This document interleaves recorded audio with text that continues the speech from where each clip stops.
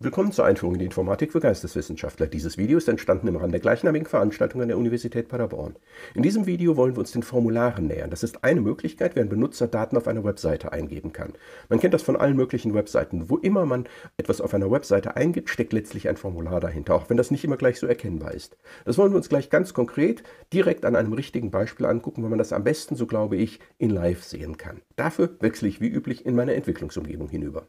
Ich habe hier mal wieder etwas vorbereitet und zwar habe ich von meiner Vorlagedatei, der Datei vorlage.html, zwei Kopien angefertigt. Ein eine habe ich Formular.html genannt, die andere habe ich Ausgabe.html genannt. Und auf der ersten Seite davon, auf der Formularseite, möchte ich jetzt eben ein kleines Formular erstellen. Und auf der zweiten Seite wollen wir uns dann angucken, wie wir diesen Formularwert auslesen können und auch feststellen, warum das irgendwie noch gar nicht so schön ist, was wir da eigentlich gemacht haben und weshalb wir uns dann im nächsten Video noch was Besseres angucken werden. Ich habe hier außerdem ein kleines Stylesheet vorbereitet, einfach um dem Ganzen halbwegs hübsches Aussehen zu verpassen. Das ist nicht weiter interessant für uns. Da kann man mal reingucken, wenn man lustig ist, aber das spielt für die heutige Vorlesung eigentlich keine Rolle, nur dass alles nicht ganz so hässlich aussieht, als wenn wir nur einfaches HTML hier hätten.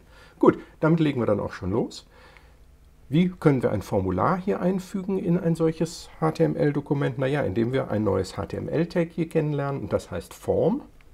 Damit sind wir eigentlich fast schon fertig, naja, nicht ganz, sondern wir müssen einem solchen Formular immer einige Dinge mitgeben, nämlich insbesondere sollten wir ihm zumindest mitgeben einen Namen, und ich nenne das Ding jetzt zum Beispiel einfach mal Eingabe, wir geben ihm außerdem eine ID mit. Die brauchen wir im Moment noch nicht, aber später, wenn wir mit JavaScript dann auf diese Formulare zugreifen wollen, da werden wir diese ID genau brauchen. Wir haben ja schon die Methode Document Get Element by ID kennengelernt und da wird uns das genau hilfreich sein.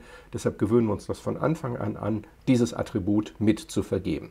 Und wir vergeben noch ein letztes Attribut für dieses Formular, das ist auch notwendig und das heißt Action. Und was dann passieren soll, das ist eben die Action, wenn das Formular abgeschickt wird wird diese Aktion ausgeführt. Und da geben wir, so spannend wie das vielleicht klingt, dass jetzt eine große Aktion hier passieren würde, die Aktion ist eigentlich eine ganz kleine, es wird nämlich einfach eine HTML-Datei geladen, eine andere. Und welche das ist, geben wir hier einfach an. Und ich möchte eben in diesem Fall meine Ausgabe laden. So, und dann wissen wir schon, dass wir so ein Formular natürlich auch schließen müssen, das übliche, was wir mit HTML immer machen. In dieses Formular hinein können wir nun unsere einzelnen Formularelemente packen und ich mache es im Moment erstmal ganz einfach. Ich will nur zwei Textfelder haben, in die der Benutzer seinen Vornamen und seinen Nachnamen eingeben kann. Das ist relativ einfach, dafür verwenden wir ein neues HTML-Element, das wir hier kennenlernen und dieses heißt Input. Auch das erhält mehrere Attribute. Das erste Attribut, was wir angeben müssen, ist ein Typ und der ist Text, weil hier eben ein Text eingegeben werden soll. Auch diesem Element geben wir einen Namen mit sowie eine ID. Im Moment brauchen wir die ID noch nicht. Den Namen werden wir gleich sehen, warum der wichtig ist. Die ID, wie gesagt, wieder für später, wenn wir dann irgendwann mit JavaScript auf diese Elemente zugreifen wollen. Ich vergebe sowohl für den Namen wie auch die ID hier immer denselben Wert. Da könnte man auch unterschiedliche Werte nehmen. Das macht es vielleicht nur hinterher ein bisschen verwirrender. Deshalb ich halte es gerne einfach. Deshalb Name und ID sind bei mir einfach immer identisch.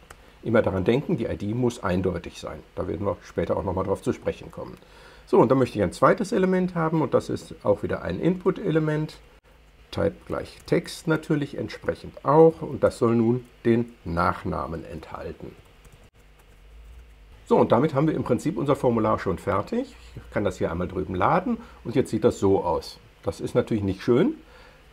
Ich habe zwar ein bisschen Layout gemacht, hier mit einem blassblauen Hintergrund, aber insgesamt ist das natürlich noch überhaupt nicht schön. Der Benutzer weiß ja gar nicht, was er hier eingeben soll. Also machen wir noch ein kleines bisschen mehr Arbeit. Und zwar schreiben wir jeweils ein Label davor. Label ist auch ein HTML-Tag. Also wir machen heute im Moment in diesem Video nur HTML bislang und gar kein JavaScript, wie ihr gerade merkt. Dann habe ich hier ein Label, Vorname und ein anderes Label, das nenne ich dann eben entsprechend Nachname. Speichern, neu laden und dann sieht das Ganze so aus. Na, das ist irgendwie auch nicht der Sinn der Sache. Ne?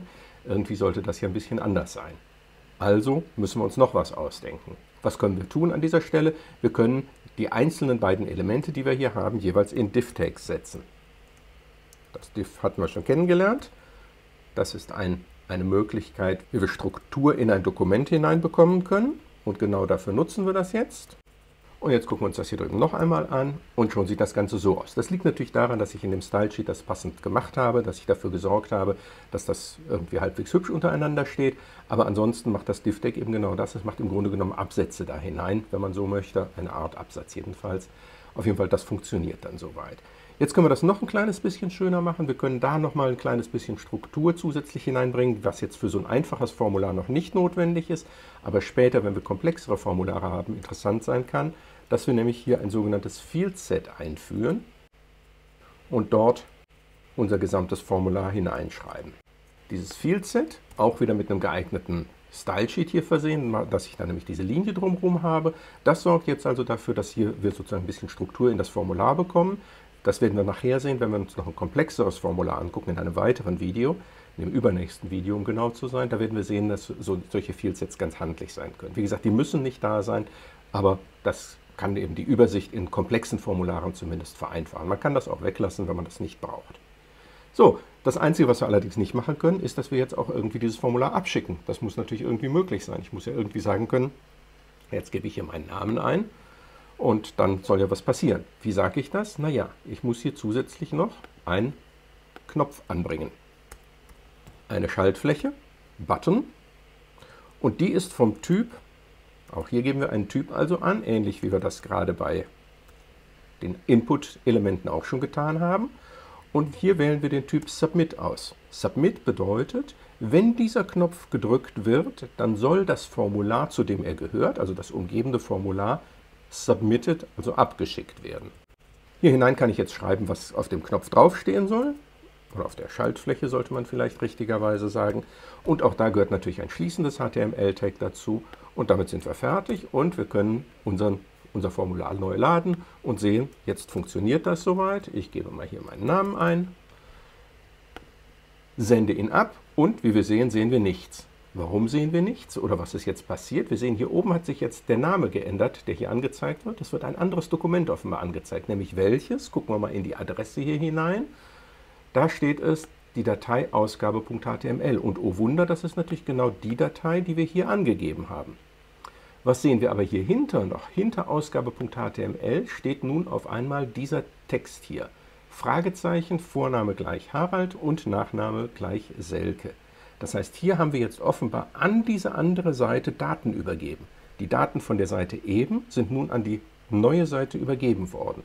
Nur diese neue Seite weiß damit im Moment noch nichts anzufangen laden wir uns die einmal in unseren Editor. Was macht die? Naja, die heißt eben Ausgabe des Namens, deshalb steht das hier oben ja auch. Aber hier drin passiert ja noch nichts. Und da müssen wir jetzt eben was dran machen. Ich füge hier erstmal eine Überschrift ein, damit wir wissen, womit wir es hier zu tun haben. Ich eine, schreibe nämlich hier mal rein, das sind die empfangenen Daten. Und dann möchte ich hier hinein ein JavaScript schreiben. Und was möchte ich dort hinein ausgeben? Nun, ich möchte eben in das Dokument hineinschreiben, document.write, das kennen wir schon. Und jetzt wie üblich p-Takes. Hier kommt gleich noch was hin. Da machen wir schon mal das schließende p-Take hin. Und was geben wir dort nun hinein aus? Ja, das ist jetzt die spannende Frage und wir lernen ein neues JavaScript-Objekt kennen. Und dieses JavaScript-Objekt heißt Location. Ähnlich wie Document existiert das immer im Browser. Das heißt also, so wie wir auf Document zugreifen können, kleingeschrieben, bei Document Write vorne, so können wir auch auf Location, auch wieder kleingeschrieben, zugreifen. Und dieses ist ein Objekt und wenn wir jetzt in der Referenz nachgucken, sehen wir, dass dieses Objekt verschiedene Eigenschaften haben und eine davon ist die sogenannte Search-Eigenschaft. Search heißt diese Eigenschaft deshalb, weil sie eigentlich dafür gedacht ist, um damit Anfragen an eine Seite zu übergeben. In unserem Fall ist es eigentlich eher eine Antwort, die wir schicken, aber egal, das Ding heißt Search. Wir können das hier einmal speichern und jetzt laden wir hier drüben das Ganze noch einmal neu und wir sehen, dass hier jetzt tatsächlich genau das ausgegeben wird, was hier oben hintersteht. Das heißt, was uns das Search liefert, ist also genau die Zeichenkette, die hier mit dem Fragezeichen beginnend hinter dem Dateinamen steht. Die wird uns also hier angezeigt. Das heißt, was wir jetzt also erreicht haben, ist, dass wir auf einer Webseite etwas eingeben und auf einer anderen Webseite etwas ausgeben können. Das erste, was wir erreicht haben, war überhaupt erstmal, dass wir was eingeben konnten auf einer Webseite. Konnten wir bislang nicht, wir hatten nur Prompt. Jetzt können wir mehr. Jetzt können wir also in ein Formular etwas eingeben und wir können es auf einer anderen Seite, auf der die Daten weiterverarbeitet werden sollen, ausgeben. Man könnte es auch auf dem Server weiterverarbeiten, aber wir kümmern uns in dieser Vorlesung nicht um Server, deshalb machen wir sowas nicht. Wir gucken also immer, wie können wir Daten an eine weitere Webseite übergeben. Das ist uns hier gelungen, nur schön ist das natürlich nicht. Das ist ja nicht strukturiert. Wie bekomme ich da jetzt wieder den Vornamen und den Nachnamen heraus? Wenn ich diese, den Vornamen und den Nachnamen jetzt in meinem Programm weiter verwenden möchte, muss ich jetzt diesen Ausdruck, den ich da habe, man nennt das wieder parsen, analysieren. Ich kenne das von parseInt und parseFloat schon. Hier haben wir jetzt ein anderes Parsing, eine andere Analyse, die wir vornehmen müssen. Wir müssen nämlich jetzt dafür sorgen, dass wir entsprechend hier eben den Vornamen und den Nachnamen aus dieser Zeichenkette extrahieren. Das kann man machen. Das ist auch gar nicht fürchterlich schwierig, ist ein bisschen umständlich, aber ist gar nicht fürchterlich schwierig. Das verlässlich hinzubekommen ist dann schon gar nicht mehr ganz so einfach. Wir werden stattdessen aber gleich einen anderen Weg gehen und werden uns dann im nächsten Video angucken, wie man so etwas mit Events und mit Event-Händlern macht. Damit haben wir im Grunde genommen schon alles gelernt, was ich euch für dieses Video vorgenommen hatte. Nämlich, dass wir Formulare erstellen können, im Moment nur sehr einfache, die lediglich Textfelder und einen Knopf zum Abschicken enthalten können. Wir haben außerdem gesehen, wie wir auf einer anderen Seite dann die Daten auslesen können, allerdings noch nicht in einer sehr brauchbaren Art und Weise. Tschüss, bis zum nächsten Video.